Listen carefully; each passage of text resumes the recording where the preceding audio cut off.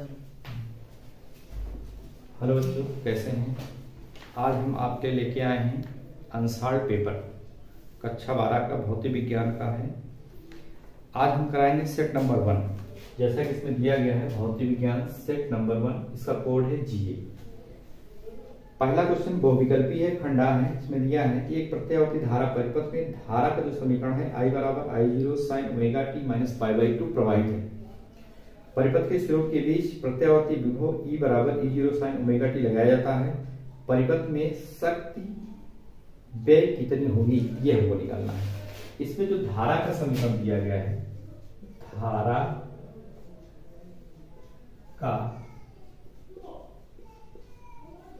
समीकरण, धारा का समीकरण दिया है, I equal to I zero sine bracket में omega T minus pi by two सवाल में दिया है, पाई बाई टू। इतना दिया है। हमको निकालना है औसत शक्ति छह कितनी होगी? पी बार बराबर। इस समीकरण की तुलना हम धारा के मानक समीकरण से जब करते हैं तो हमको यहाँ से इसका कलांतर फाइव बराबर निकल के आता है कितना? पाई बाई टू निकल के आता है। इसका जो धारा का समीकरण होता है, ये होता है आई बराबर I zero sine omega T minus five इसकी तुलना जब हम इससे करते हैं तो ये फाइव की वर्ग निकल के आती है पाई बाई टू ठीक? अब हमें निकालना है औसत शक्ति छह। औसत शक्ति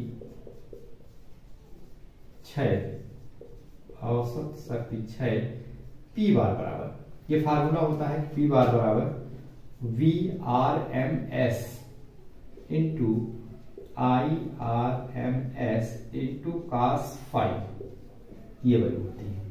ठीक? अब चूँकि वी आर एम एस बराबर होता है V zero upon under root two तथा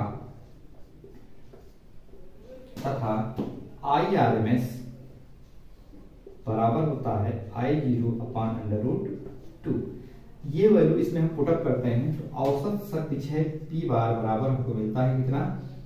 V zero upon under root two into I zero upon under root two into cos अब फाइव की वैल्यू कितनी है? Pi by two pi by two pi by two का मतलब 90 degree और कास 90 का मान क्या होता है? ज़ीरो औसत शक्ति छह पी बार बराबर V zero upon root two into I zero upon root two into zero bracket में लिख देंगे, क्योंकि cos pi by two equal to zero ना? तब औसत शक्ति छह कितनी हो जाएगी हमारी? ये गुड़े ये गुड़े ज़ीरो किसी भी संख्या को ज़ीरो से गुणा करते हैं आंसर कितना आता है? ज़ीरो इसका औसत शक्ति छह पी बार बराबर कितने निकली ज़ीरो अतः विकल्प हमारा कौन सा सही है? विकल्प हमारा फोर्थ नंबर सही है कि पी बराबर शून्य। तो लिखना पड़ेगा, अतः अतः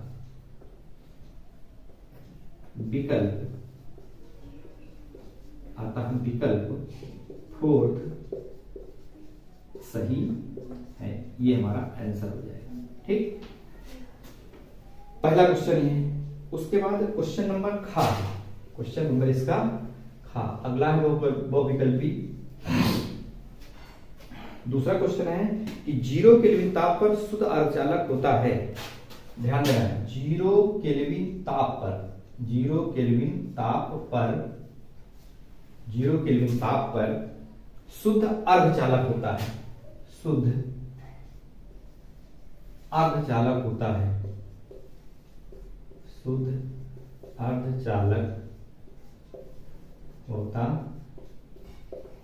है। शुद्ध अर्धचालक करें ज़ीरो केल्विन ताप पर शुद्ध अर्धचालक होता है। शुद्ध अर्धचालक का मतलब चालक हो नहीं सकता, प्रतिरोधक हो नहीं सकता, शक्ति स्रोत हो नहीं सकती, इसका मतलब विद्युत रोधी। कौन सा पार्ट है फोर्थ पार्ट कौन हो सकता है इसका आंसर विद्युत रोधी। विद्युत रोधी। विद्युत रोधी। ये वाला पार्ट सही है, विद्युत रोधी। अतः विकल्प कौन सा सही है? अतः विकल्प। इसका भी कौन सा सही है? Fourth number. इसका फोर्थ विकल्प सही है? अगले क्वेश्चन पे आते हैं। क्वेश्चन नंबर गा है। क्वेश्चन नंबर गा। बहुत इंपॉर्टेंट क्वेश्चन है। कई बार पूछा गया है। करा वी इलेक्ट्रॉन वोल्ट ऊर्जा वाले इलेक्ट्रॉन से संबद्ध द्विबराली तरंग दैर्घ्य लगभग कितनी होगी? ठीक क्वेश्चन बहुत इंपॉर्टेंट है कि वी इलेक्ट्रॉन वोल्ट ऊर्जा वाले इलेक्ट्रॉन से संबद्ध द्विबराली तरंग दैर्घ्य कितना होगा? तो ये द्विबराली तरंग दैर्घ्य का फार्मूला जो होता है दी ब्रागली तरंग दैर्घ्य लेमडा बराबर। लेमडा बराबर क्या होता है?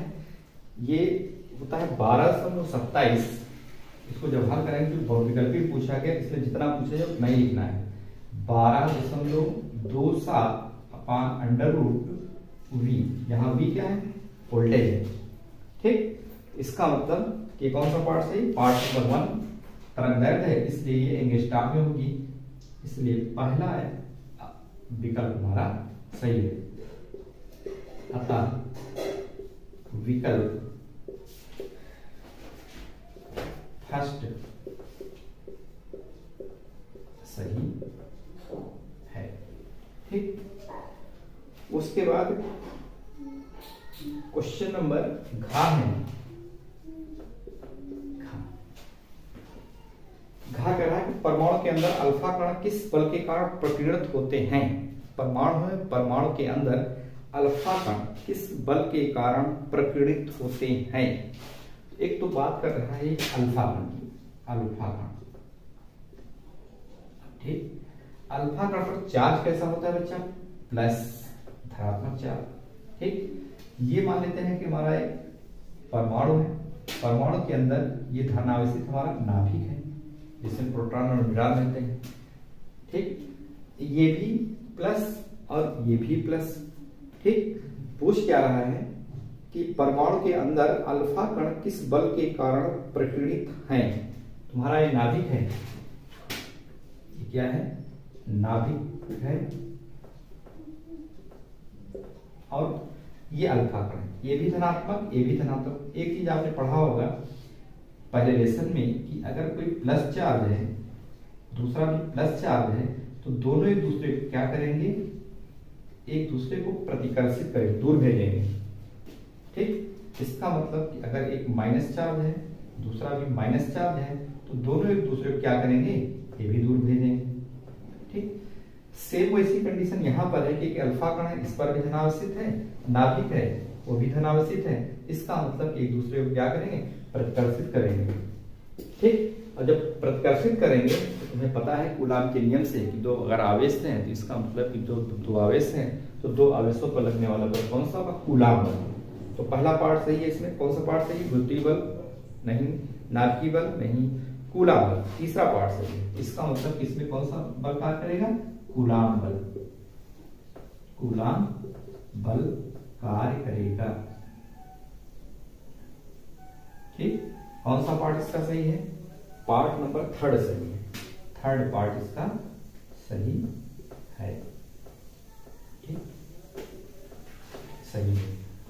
बहुत लोग इसमें गलती करते हैं, लिख देते हैं कि नाटकीय बल। जबकि नाटकीय बल नहीं है, दोनों आवेश की बात कर रहा है। इसलिए हम जो है आवेश के विषय में बात जब करते हैं, कौन सा बल लगेगा? गुलाम बल लगेगा। ठीक? तो गुलाम बल के कारण एक दूसरे क्या करते हैं? प्रेरित करते हैं। ठीक? क्वेश्चन नंबर, नोट कर लो इसको बताते हैं। फिर हैं?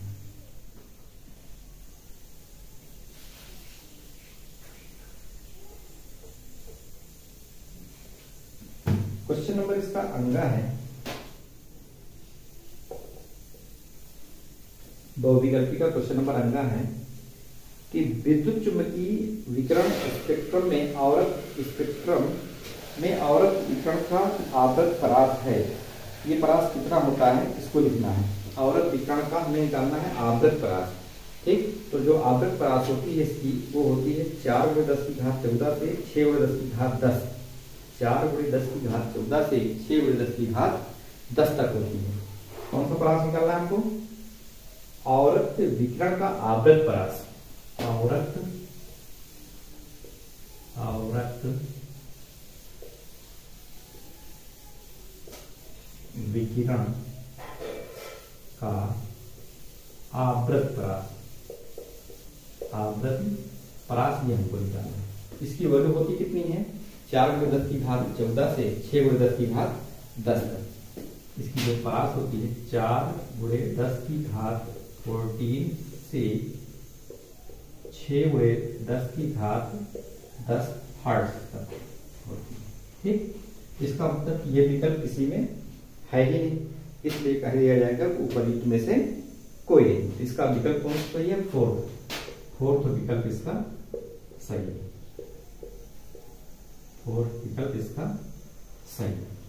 ठीक? अब आते हैं नेक्स्ट क्वेश्चन पर। नेक्स्ट क्वेश्चन हमारा दिया गया है, वो है कौन सा पार्ट है? चा पार्ट।